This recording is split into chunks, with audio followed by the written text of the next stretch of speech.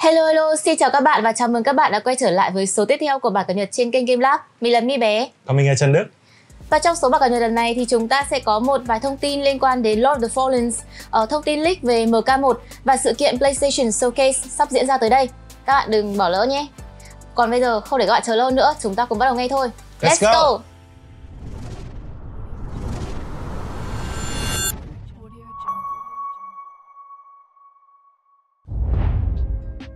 Để bắt đầu thì mấy hôm trước em có xem được trailer của uh, Lord of the Fallen Ừ. thì anh Đức đã xem qua chưa? Anh à, cũng có xem qua cái trailer của tựa game này rồi.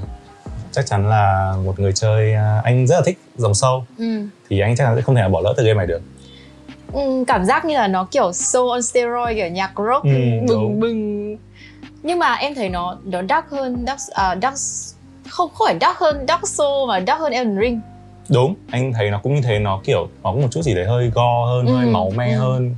Rồi các nhân vật cũng kiểu trông họ đen tối hơn ấy. ừ.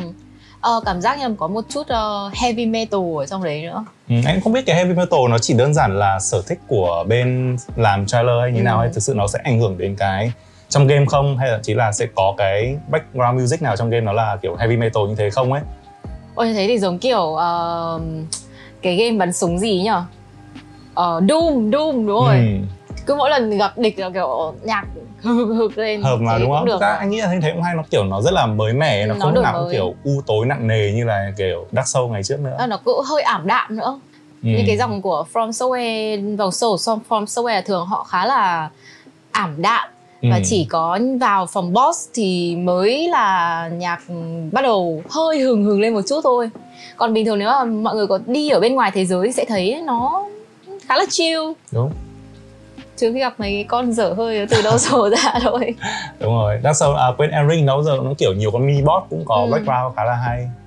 Ờ, Lord of the Fallen thì hiện tại mình mới chỉ biết được là giá này và ngày ra mắt thôi. Ừ. còn về phần cứng thì mình vẫn chưa biết một cái gì. Em cũng đã có tìm hiểu ở trên trang Steam và ở các nguồn khác thì các nguồn khác thì họ chưa chính thống. Còn Steam thì chưa chưa để luôn. À, em đã hy vọng là nó sẽ không bị ờ, lỗi nhiều quá Ừ, đúng. So với cả kiểu đầu năm nay thì cũng rất mong là Lord of the Fallen nó sẽ không bị các cái lỗi liên quan đến kiểu phần cứng, phần Ừ. mềm, tràn RAM các kiểu. Anh thấy thì game nó có một cái concept với ý tưởng nó cũng rất là ok rồi. Bây giờ chỉ cần các bạn nó làm tốt thôi Ừ. thì người chơi sẽ đón nhận thôi mà. à cái concept ờ, phản địa đàng với kiểu tôn giáo khá giống Blasphemous em thấy có một số cái bộ giáp nó cũng giống Ừ, đúng. nhìn na ná chứ không phải là gọi là giống Game này thì sẽ không phải là thế giới mở nhỉ. Nó sẽ chỉ là kiểu semi open world thôi đúng Ừ. không? Nghĩa là mình loát từng map từng map đi thế thì anh nghĩ là phần này nó cũng một chút nào đó nó giảm tải được cái sức nặng cho máy tính của mình ấy. Ừ. Ờ, để nó bớt những cái giống như là Elden Ring thì đợt trước cũng bị chê là vì ờ, thế giới nó rộng quá rồi người ta không biết feel kiểu gì mọi thứ bị lặp đi lặp lại khá là nhiều Ừ. thì cái việc nó gần giống như là Dark Souls 3 thì sẽ tốt hơn cho một game soul nó không cần phải quá nhiều content nó chỉ việc đi thẳng từ A đến B đến C thế thôi thế là xong anh cũng nghĩ như thế với kiểu form shop thì giờ họ đã có quá là gọi là họ là khai sinh ra mà nên họ Ừ. có kinh nghiệm trong việc làm game show rồi ừ. nên ra là những cái thứ như kiểu open world ấy, thứ là họ, họ có thể đi tiên phong được còn những cái game khác mà dạng kiểu soul like có nghĩa là họ làm theo dạng của form shop Ừ. thì anh nghĩ là vẫn nên sự lựa chọn an toàn Ừ, đúng rồi. Ờ, với cả em xem trailer uh, 4 phút gameplay trailer của họ ừ. Ờ, thật có một số cái góc máy quay làm em cảm giác như là game kiểu ờm, game game điện thoại ấy. thế á Vâng, tại vì em xem trailer, em đã phải xem lại trailer của Elden Ring và xem lại của Dark Souls 3 là một cái game semi open world thì thấy là họ cho thấy được một cái thế giới kiểu nó rộng lớn và nó hùng tráng ấy. Nhưng mà khi em xem của Lord of the Fallen thì em thấy đại khái là cái góc máy quay nó khá là hẹp. ừ. Nó chỉ cho mình thấy một con đường mòn thẳng duy nhất và nhân vật chính đi trên đấy hết và show một vài cái kiểu ừ, đồ họa đẹp mắt rồi mấy cái go thế thôi là em cảm giác là game nó sẽ bị ờ, linh cảm là có gì đấy không ổn Ờ đúng, thực ra mình nói thế anh cũng mới để ý ấy. Đúng là game kiểu nó chưa cho mình xem các cái cảnh mà kiểu thế giới nó Ừ. hùng vĩ đẹp như nào nhỉ ờ, Nhưng mà anh nghĩ là cũng sẽ có thôi Tại vì game, à, anh nhớ trong một cái à, breakdown của nhà sản xuất gần đây Họ giới thiệu sơ qua về cái công nghệ Unreal Engine 5 trong Ừ. game của họ áp dụng ấy Thì cũng có, họ cũng cho mình xem qua một số các kiểu núi non hay là lâu đài các thứ. À, Trông rất là hùng vĩ và trông rất là đẹp.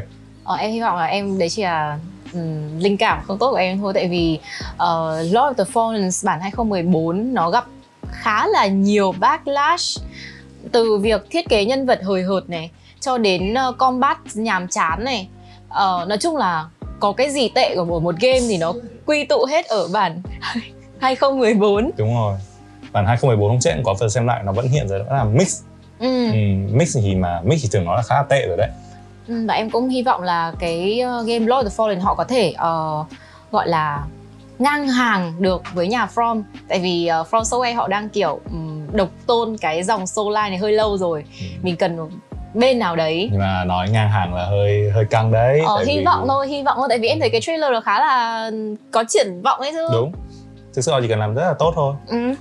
và có một cái nữa làm em hơi uh, skeptical hơi hơi bị uh, sợ mua game đấy là cái việc là họ bị ở trong development hell rất là lâu. Ừ. tức là họ uh, thông báo game từ năm 2015 định ra mắt vào năm 2017 và đến tận bây giờ chúng ta mới có thông tin về gameplay rồi lịch ra mắt các thứ. Thôi thì anh cũng chỉ mong đấy là thời gian sản xuất nó đi đôi chất lượng thôi. Ừ. có thể là trong quá trình sản xuất họ cảm thấy là mình nếu mà mình ra mắt cái con game này thời điểm như này nó sẽ không được hợp lý và nó sẽ uổng công ấy. Ừ. thì thay vì đấy họ quyết định họ sẽ làm lại những cái cốt lõi để khiến game nó hoàn thiện hơn thì sẽ tốt thôi. Và qua cái trailer gameplay vừa rồi thì anh thấy là nó cũng khá là ok ấy chứ đúng không ừ. so với cả phần 2014 thì rõ ràng đây gần như anh có thể nói là hai game khác nhau hoàn toàn luôn ấy. Đúng rồi. Em cũng xem qua phần 2014 và em cũng hiểu là tại sao người ta lại chê rồi. Ừ. Đấy, hy vọng là đến cái phần này thì sẽ ra mắt vào ngày uh, 10 à đâu bao nhiêu? 13 13 tháng 13 10. tháng 10 sắp tới cho PC và hệ máy next gen là PS5 Xbox Series XS à, em hy vọng là sẽ xứng đáng bỏ ra 990 nghìn Thêm một trailer nữa cũng được ra mắt chắc là khoảng độ 3-4 ngày trước ừ. thì là phiên bản MK1 à. ừ. ờ, chúng ta chưa nhìn thấy gameplay nhưng mà ít nhất thì cũng biết được sơ qua cốt truyện rồi ờ, anh Đức đã xem chưa? Anh có xem rồi và hiện nay thì anh cũng có làm cho kênh Game Lab một cái video mà nó sẽ lên vào tối, tối ngày nay, nay. Ờ. À đâu, ra là tối ngày hôm qua chứ tối ngày hôm qua. Theo thời điểm video này hôm nay lên mắt thì nó sẽ là tối ngày hôm ờ, qua đúng rồi. rồi. tối ngày hôm qua. Ờ, thì để nói về phân tích cái trailer đấy nó có những cái gì. Thì uh, trong video của ngày hôm qua thì uh, anh cũng đã có nói về một số chi tiết và một số giả thiết có thể sẽ diễn ra trong tựa game Mortal Kombat 1 sắp tới. Ừ. thì anh thấy cái này khá là hay. Bạn nào có thể quan tâm thì có thể kích vào cái link mình sẽ để link video ở dưới phần mô tả nhé. Còn để nói hơn chi tiết thì sau vài thời sau hai cái cụ thể là hai cái video teaser của bọn Mortal Kombat nó teaser cái đồng hồ đếm đếm ấy ừ. thì cuối cùng nhà sản xuất cũng đã đưa ra cái đoạn trailer đầy đủ giới thiệu về Mortal Kombat 1 ở đây thì chúng ta sẽ đến với một thế giới hoàn toàn mới của Liu Kang và có gặp lại các nhân vật cũ, cả cũ cả mới. Các nhân vật này sẽ có các mối quan hệ khác nhau và chúng ta sẽ có những kẻ phản diện có lẽ là mới. Ờ, và ngoài ra thì em thấy là đồ họa của phần này xuất sắc luôn. Ừ, đúng. Đồ họa là một thứ được nâng cấp rất là nhiều ở trong cái tựa game này. Các cái à, cái cảnh mà môi trường ấy với cả ừ. nhân vật trông gọi là đỉnh của chóp luôn. 10 trên 10. 10 trên 10. Cái mà em uh hơi thấy hơi uh, không ưng lắm đấy là tạo hình của một số nhân vật nam em thấy khuôn mặt nó bị uh, bị thật quá ấy. À. em vẫn quen với cái kiểu uh, nhân vật nó vẫn hơi gọi là sao nhỉ hơi hơi, hơi điện ảnh một tí nếu thật quá nó bị xấu đi một tẹo theo tuy bây giờ thì nhà xuất họ chưa đưa các cái thông tin rõ ràng về cái người mà sẽ gọi là làm motion capture ừ. cho những nhân vật này ấy. nhưng mà theo anh được biết thì hầu hết như là hầu hết là toàn bộ mọi người đều đã thay đổi ừ. có nghĩa là cái nhân vật tạo hình cho Liu Kang trong Liu Kang trong Mortal Kombat 11 và Liu Kang trong Mortal Kombat 1 là hai người khác nhau à. tương tự như vậy với Raiden với Shang Tsung với cả Kung Lao tất cả mọi người đều thay đổi hết. Thế nên ra là việc mà em cảm thấy không quen thì nó sẽ có đương nhiên thôi. Ừ. và chưa kể thì game bây giờ nó sử dụng một cái engine đồ họa mới. Thế nên ra là trông nó sẽ thật hơn rất là nhiều. À, và cái uh, cốt truyện lần này nó cũng khá là nói chung là cốt truyện của game đối kháng thì em cũng không hy vọng gì nhiều lắm. Ừ các bạn là họ chỉ cần một lý do gì đấy để choảng nhau thôi. Đó, nên là em thực sự thì em vẫn là đang hy vọng là cái phần này cốt truyện nó sẽ đỡ dối lên một chút. Tại vì suốt 11 game trước thì nó đã quá là dối rắm rồi em không thể theo kịp được. Đúng Mortal Kombat là một cái game gì đấy mà kiểu mọi người sẽ còn gần như chơi và chẳng để ý cốt truyện nó ấy. Ừ. nhưng mà mọi người không hề biết rằng đấy là Mortal Kombat có một cái cốt truyện rất là sâu và nó cực kỳ kiểu liên quan đến đa vũ trụ đa dòng Ừ. thời gian các thứ các thứ ấy. Của các vùng đất cũng rất là sâu ấy. Ờ, nhưng mà theo anh dự đoán thì chắc là cái phần Mortal Kombat 1 này họ cũng sẽ cố gắng làm đơn giản nhất có thể. Họ cũng cảm thấy là mình đã đi hơi, Hơi quá, quá. xa rồi ấy và giờ chúng ta sẽ quay về một ấy. Ừ. anh nghĩ cái quyết định mà quay về một của họ đấy đã là quyết định của nhà xuất đấy là kiểu giờ chúng ta sẽ lấy lại những cái gì ban đầu nền tảng thôi. Đơn giản thôi tập trung vào cốt lõi. Xong rồi mình làm cái tựa game thật sự hay là được rồi. Ừ. tại vì nó cái này nó giống như kiểu uh, flashpoint ấy nhỉ? Mình sai thì mình reset lại. Hết lấy lời khác này lời khác một năm sau phải có Mortal Kombat 1.2 reset lại thêm lần nữa. Ờ, nhưng mà đấy câu hỏi cũng đặt ra đấy là giờ chúng ta quay trở về Mortal Kombat 1 thì liệu mấy năm nữa chúng ta sẽ lại có Mortal Kombat 2 à? Ừ. đúng không? Hay là lại 13 ờ, hay là Ờ, 13 khó đúng. hiểu. hay là 13 hay là 12 hay là 10 chúng ta mình có 12 chẳng hạn. Ừ. cái đấy cũng không rõ lắm đâu. Nhưng mà thôi đấy là câu chuyện của rất xa. Ờ, và có một cái thông tin khá là hot đấy là ừm, trang ờ, Amazon của Mỹ đã lỡ leak một chút thông tin về nhân vật chuẩn bị ra mắt cho phiên bản MK1 lần này. Ờ, theo em được biết thì ờ, ngoài những cái nhân vật ừm, đã cho bị bay màu trước đây quay trở lại thì còn có nhân vật như là uh, Omni-Man, ờ, Peacemaker, Homelander của The Boy đúng đây là những vật kiểu họ xuất hiện ở trên những cái bộ phim truyền hình rất là nổi tiếng đúng không Ừ. Như kiểu là uh, Omni-Man hay là Peacemaker thì có thể nhiều bạn à không thực ra Peacemaker cũng rất là nổi. Ừ, tại vì là có thể nhiều người chưa xem Peacemaker thôi nhưng mà cái nhân vật đóng Peacemaker thì chắc hẳn ai cũng biết rồi. Ờ, John Cena. Ờ, đó John Cena. Ừ. Homelander thì với series The Boy quá là quá là khách rồi. đỉnh đám rồi. Anh nghĩ là hai nhân vật này mấy nhân vật này ba nhân vật chứ xuất hiện ở trong Mortal Kombat một lần này sẽ là một sự góp mặt rất là hay đấy. Và nó thú vị nữa. Ừ. em đang kiểu không biết ờ, thằng Homelander nó có uống sữa hay thật sức mạnh không? Ờ, anh thấy ở trên mạng cũng có một số các cái bài tranh luận đấy là Omni-Man với cả Homelander ai là kẻ mạnh hơn ấy. Ừ, rồi Peacemaker có skill tàng hình. Ờ. Can't see me, dog. Ờ, có một cái leak nữa mà em cũng được biết gần đây đấy là ờ, liên quan đến anime của uh, Shall Die Twice. Cái gì nhỉ Sekiro Shall Die Twice. Và ờ, cái gì nhỉ em có bị và God of Tsushima Ừ, Ghost, Ghost of Tsushima sẽ Ừ. có anime cho hai tựa game này. nhưng mà theo anh thấy thì hình như là God of Tsushima thì khá là mông lung Ờ. nhưng mà cái thông tin về Sekiro Shadow Die Twice thì có vẻ như là chính xác đấy tại vì cái người leak ở trên Twitter thì họ cũng đã nói đến việc đấy là studio họ có nhắc tới studio sản xuất của cái tự anime này rồi Ờ, thì ờ, em không biết là họ sẽ theo cái art style giống kiểu uh, um, Cyberpunk Edge Runner hay là nó sẽ theo kiểu 3D. Ờ, họ sẽ không phải là 3D Ờ, anh thấy người leak họ nói là bộ phim này sẽ không phải là CGI mà sẽ là được vẽ 2D ờ, studio sản xuất sẽ không phải là Mappa. Anh không biết điều này là tốt hay xấu nữa nhưng mà à, họ leak như vậy. Ngoài ra thì với cái art style kiểu của Cyberpunk thì à, anh nghĩ là nó hơi không hợp tại vì Sekiro nó sẽ không cần đến cái sự điên như kiểu trong Cyberpunk. Ừ, nó sẽ cần một chút đấy kiểu nó hơi nhã nhã kiểu samurai kiểu kiếm sĩ Nhật Bản hơi, hơi hoài cổ một chút. ừ, thì nó sẽ phù hợp với cả Sekiro hơn Ừ, em nghĩ là nó sẽ có cái ờ, mang màu sắc giống như là Kenshi anh có xem Kenshi không? Kiếm sĩ Kiếm sĩ Kenshi nó sẽ ờ, hơi tăm tối và một cái thời ờ, loạn lạc kiểu như vậy. đúng câu chuyện của Sekiro thực chất nó cũng hơi buồn mà có thể nói là hơi Ừ. buồn kiểu vậy Thực ra thì em cũng ờ, chưa chơi hết Sekiro ừ. Em mới chơi đến ờ, đoạn có một con boss béo chắn giữa cái cửa và một À. đoàn lính uh, tùy tùng ở đứng bên cạnh và em dụ từng thằng một ra xiên à, và em thấy mất thời gian quá thế là em tắt game nghỉ luôn từ đấy giờ cũng chưa chơi lại Sekiro thì thực sự rất là hardcore nói chung là Ừ. mình dành thời gian chơi và chơi hết rồi sẽ kiểu rất là nghiện ờ, là một weibo chân chính thì ờ, thôi em cũng đành chờ đợi xem. Ừm, không biết là có lịch ờ, phát hành cho bộ phim ấy chưa anh nhỉ? hiện với anh thì hiện giờ là chưa có đâu. Ừ. chắc khả năng sẽ còn phải một thời gian nữa chúng ta mới xác định cơ. Nhưng mà theo cái người leak học nó là sớm thôi. Sớm thôi. Sớm nhưng mà sớm ở đây là sớm có thông tin chứ chưa phải là À. sớm có cái anime này. Thế thì em mạnh dạn dự đoán là chắc cũng phải mùa hè năm sau. Ừ, chắc là tầm đấy ngoài ra thì lúc nãy mình có nói đến Cyberpunk ấy ừ. thì có một thông tin nữa đấy là cái DLC sắp tới của Cyberpunk là Phantom Liberty. Ờ, Ừ, Phantom Liberty sẽ được ra mắt vào tháng 6 này. Rất là sớm thôi. Ừ, đây là một tin anh nghĩ khá là bất ngờ ấy tại vì kiểu Phantom Liberty là một cái trailer rất là lớn và được bên C Project Red họ mời về Edit Ebra là cái ông mà đóng có thể nhiều người đây biết đến là đóng Heimdall ở trong Thor. À. Ờ, để về làm một nhân vật ở trong game. Thì họ mới chỉ công bố cái trailer này ở Game of the Year năm ngoái. Và trước đó có một số thông tin nữa nhưng mà cụ thể nhất thì là Game of the Year năm ngoái. Thì đến bây giờ nếu mà giả sử như tháng 6 có nghĩa là chỉ còn một tháng thôi họ ra mắt ra mắt game. thì đây thực sự là kiểu shadow drop ấy. Có nghĩa là họ không nói năng gì họ drop thẳng cái cái game DLC luôn. ra luôn ờ. Em nghĩ là theo uh, với cái tiếng tăm của Cyberpunk thì cái việc họ shout drop đấy cũng không phải là vấn đề lắm. Ừ.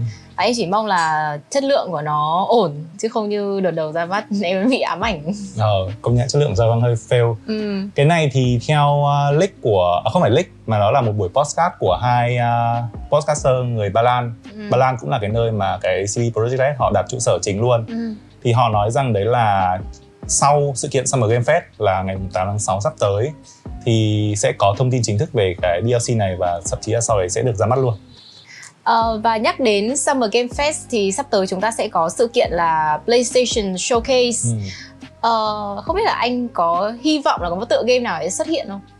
Ồ, nói đến uh, PlayStation Showcase thì chúng ta sẽ có khá là nhiều tựa game hot sẽ xuất hiện đấy. Ừ. Chắc chắn đấy là không thể nào bỏ lỡ rồi. Spider-Man 2, Marvel Ừ. Spider-Man 2. Tựa game này là tựa game chủ đạo của Sony trong nửa cuối năm nay. Thì tựa game này đã theo một số nguồn thông tin họ đồn đoán thì đã được ra mắt vào tháng 9 năm nay. Và đến tầm này thì chắc chắn là Sony sẽ phải đưa ra một cái trailer hoặc thậm chí là gameplay cho cái tựa game này rồi. Nên ra Marvel Spider-Man 2 sẽ là tựa game chắc chắn có mặt ở trong PlayStation Showcase lần này. Ừ, em nghĩ chắc chắn thêm cái nữa chắc là thêm một số thông tin về Final Fantasy, tựa game Final Fantasy mới. Oh, Final Fantasy. Ở đây chúng ta sẽ có hai Final Fantasy nhá. Ừ. Tại vì thứ nhất là Final Fantasy 16, tựa game sẽ ra mắt ngay trong tháng 6 sắp tới này. Nhưng mà Final Fantasy 16 thì anh nghĩ là mọi người đã kiểu đủ thông Ừ, tin là rồi kiểu ấy. mọi người mọi người đã quá đủ rồi. Ờ, mọi người bây giờ chỉ cần là thôi game ra mắt đi để tao chơi thôi chứ còn kiểu tầm này ai mà quan tâm thì chắc chắn quan tâm rồi còn Ừ. ai mà không quan tâm thì họ cũng sẽ không muốn nghe nữa ấy. Căn bản là nó cũng hết cái để nói rồi, Ờ, cái tầm- boss rồi, thế giới rồi. thậm chí là tháng rồi, 3 vừa rồi còn rồi. có riêng một cái uh, State of Play dành Ừ. riêng cho Final Fantasy 16 anh nghĩ thứ mà mọi người muốn biết hơn đấy là sẽ là Final Fantasy 7 Rebirth À, là tựa game thứ hai trong bộ ba re, uh, remake của Final Fantasy 7 đây là thứ mà anh nghĩ là mọi người sẽ muốn có thông tin hơn. Em mới chỉ xem chơi phần đầu tiên của cái ờ, phần 7 thôi, em còn không biết nó có phần thứ hai cơ. ừ, thì theo kế hoạch đấy là họ sẽ cái Final Fantasy 7 họ sẽ remake thành 3 phần. À, phần đầu tiên là 2020 rồi và phần tiếp theo sẽ là ra năm 2023 này. Còn phần thứ ba là phần cuối cùng thì hiện giờ chúng ta chưa có. Trước mắt chúng ta cứ hướng đến phần 2 thôi nhưng mà cái việc mà Final Fantasy 7 sẽ có thông tin ở trong sự kiện PlayStation Showcase này, anh nghĩ là cũng khá là mong manh. Tại vì cơ bản họ sẽ muốn tập trung quảng bá cho cái 16 trước. Sau khi cái 16 xong rồi thì họ mới sẽ muốn đến cái phần tiếp theo. Ừ. Ừ, tại vì cái 16 khá là lớn họ đẩy Đúng marketing kinh khủng luôn. nó nó ngay gần nó nó ngay kia rồi kiểu bây giờ bây giờ thêm cái thông tin 7 vào nó sẽ hơi bị loãng ấy nó Ừ. làm bị ảnh hưởng nhau ấy nên là anh nghĩ là sao sẽ không Biết đâu uh, PlayStation Showcase lần này lại dành thêm 30 phút nữa chỉ nói về Final Fantasy. Ngoài ra thì à, còn một tựa game nữa cũng đã được từ lâu và cũng độc quyền trên à, PS5 đấy là Silent Hill 2 À, chắc em nghe rồi đúng em không? cũng nghe rồi. Những cái đấy nó kiểu xa xăm lắm rồi ấy. Từ cái lần mà tung ra hai ba cái trailer gì đấy là đến bây giờ em cũng đã không nghe thêm tiếp thêm cái gì nữa. Đúng rồi, anh không biết là cái lần đầu tiên mà anh nghe về việc đấy là sẽ có một tựa game Silent Hill tiếp theo hay là một tựa game Silent Hill remake là từ bao giờ rồi Ừ. nhưng mà chỉ nhớ là khi mà cái tựa game Silent Hill đều được công bố chính xác ấy thì mọi người cũng rất là hype và cũng rất là mong chờ tựa game này thì à, dự kiến là sẽ được ra mắt vào cuối năm nay hoặc là đầu 2024 Thì anh nghĩ là thời điểm và cái sự kiện PlayStation Showcase lần này để ra mắt hay là cho mọi người biết một cái khung thời gian game nó sẽ ra mắt lúc nào ấy là hợp lý rồi Em nghĩ là họ sẽ tung ra một cái kiểu ờ, gameplay xong rồi ờ, release release Ừ. date kiểu vậy. anh cũng sẽ mong là nó sẽ có một cái à, đoạn gameplay cộng với cả cái khung thời gian nhất định để người ta Ừ. có thể biết được xác định rõ ràng Ờ, có một game nữa mà em cũng khá là mong chờ đấy là Death Stranding 2. ừ. Em hy vọng là sẽ có gameplay của tựa game này hoặc là bối cảnh của thế giới sau sự kiện một hay là gì đấy.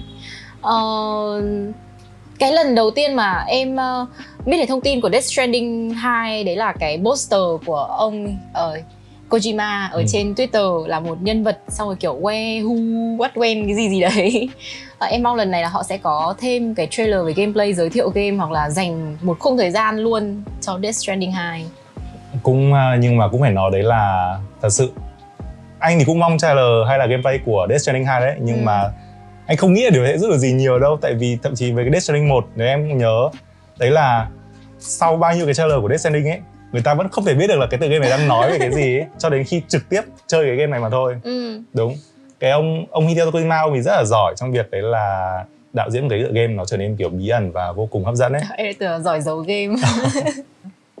Anh cũng nghĩ là tầm này thì mọi người ờ, cũng muốn thông tin về Death Stranding 2 đấy nhưng mà cũng chỉ là biết được vậy thôi. Ừ. ngoài ra chúng ta vẫn còn rất là nhiều tựa game mới được ra mắt nữa. Có một cái tựa game ờ, cũng gần như chắc chắn sẽ được ra mắt trong năm nay đấy là Stellar Blade Stellar Blade là ờ tựa game này khá là mới anh cũng chưa nghe ừ, qua. tựa game này đến từ uh, Seabuck Studio. Ừ. Studio thì nếu như em hay các bạn đây có thể biết đó là gần đây họ nổi với một cái tựa game gacha là Nike. Có lẽ là Victory. À những Ờ. cái cái, cái có phải game bắn súng Đúng ờ, rồi, game ok súng. em nhớ rồi nhớ nhớ dính rồi. cái game đấy em biết đấy. Đấy là họ cùng sản xuất với studio này. Ừ. thì chúng ta có thể hiểu được qua tựa game Nike thì đấy là studio này họ có một cái phong cách thiết kế các nhân vật nữ rất là có thể nói là nóng bỏng. Ừ rất, là fan service. Đúng rồi. Tựa game này thì được lên kế hoạch ra mắt vào cuối năm nay vậy nên là anh cũng nghĩ là sẽ xuất hiện ở trong showcase lần này thôi. Ờ, không biết bị censor không? Em sợ tại vì cái Nicky nó kiểu cái quan trọng ấy là sẽ có mod người ta sẽ có mod của cái tựa game đấy. Ờ, ok, ok, nếu mà lên ok. PC chắc chắn sẽ có mod còn nếu mà độc quyền P5 thì hên xui à, đấy là những tựa game rất có thể sẽ ra mắt trong showcase lần này. Ngoài ra thì chúng ta còn một số các cái tên khác ít khả năng xuất hiện hơn. Ví dụ như là Marvel Wolverine.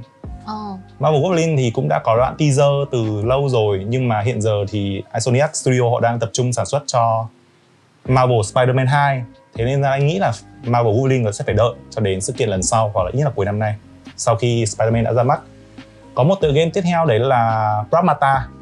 Pragmata của Capcom à có phải là cái game mà có một cô bé gái với cả một con robot xong À, rồi gần phi đây gia. ở phi hành gia đúng Ừ. rồi ờ, em lại nhầm thành ở trong Honkai Star Rail Clara là Clara ờ, sau rồi gần đây có một cái trailer đấy là delay cô bé đấy giơ cái bảng delay rất là đáng yêu cái chờ đấy cũng Ừ. ờ, cũng một thời gian rồi đấy delay sang 2023 Ừ. nhưng mà một lần nữa đến tầm này mà vẫn không có thông tin gì thì anh nghĩ là 2023 vẫn còn khó khá là khó mong lắm. manh ừ, tại vì cái game đấy trông khá là ờ, bí ẩn. Mình chả biết một cái gì cả. Không biết một vấn cái gì về gameplay thế giới không không một cái gì hết. Ừ. bên đến bây giờ vẫn chưa có thông tin thì em nghĩ là lại delay sang 2024 có một thứ nữa người ta cũng rất mong chờ đó là tựa game The Last of Us Part à 2 multiplayer à? Đúng rồi Ừ. chế độ multiplayer của The Last of Us Part 2 tại vì Part 1 nó cũng đã có một cái chế độ chơi multiplayer rồi. Ừ.